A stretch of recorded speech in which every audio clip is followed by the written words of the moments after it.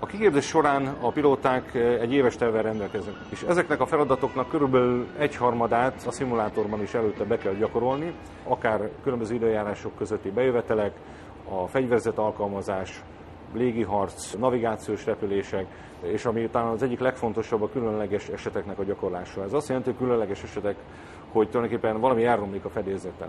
Igen, nehéz és, és szoros perceket lehet okozni itt a pilótáknak. De maga az élmény olyan jellegű, és hogyha az ember tényleg beleélni magát, és meg akar felelni annak, amit, amit a szimulátor, mint feladatot magunk elé tűz, akkor valóban bele lehet izzadni, szinte úgy, mint egy igazi repülésben. Bármilyen hibát elő lehet idézni, a hajtómű különböző meghibásodásától kezdve egészen a, a kijelzők eltűnéséig, ottani egyéb elektromos megtáplálás hiányától kezdve közel ezer meghibásodás lehet itt produkálni ezen a gépen.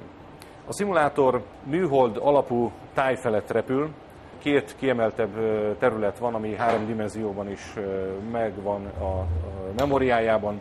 Ezek körül az egyik a Kecskeméti repülőtér körüli környezet és táj, a másik pedig a Várpalota környéki lőtér.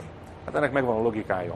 A helyi gyakorlás e, itt a repülőtér és a közvetlen közvetének az ismerete, a másik pedig a lőtér, ahol gyakran e, különböző lövészeti feladatokat végrehajtunk. A taktikai szimulátor egy kicsivel más, mint ez a mi szimulátorunk. Svédországban minden évben volt eddig lehetőségünk kimenni egy, egy szimulátor képzésre. Egy óriási hangárban 8 hasonló szimulátor összekapcsolható elektronikus linkekkel, a pilóták egymással, egymás ellen repülhetnek, vagy akár komputer generált a célok ellen.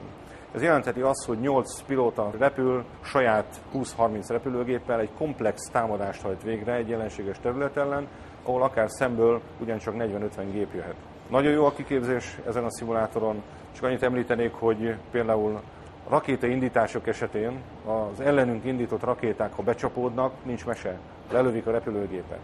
Ha a pilóta ellenben jó manővereket hajt végre, akkor kikerülheti ezeket a rakétákat. És ami a legfontosabb talán még, hogy a repülések után ezeket a repüléseket vissza lehet nézni, ki lehet értékelni, bárhol bármelyik mozzanatát ki lehet nagyítani, 3D-ben lehet forgatni, tehát szinte méter pontossággal meg lehet azt mondani, hogy a jó manőver során a rakéta mennyivel repült el a cél mellett.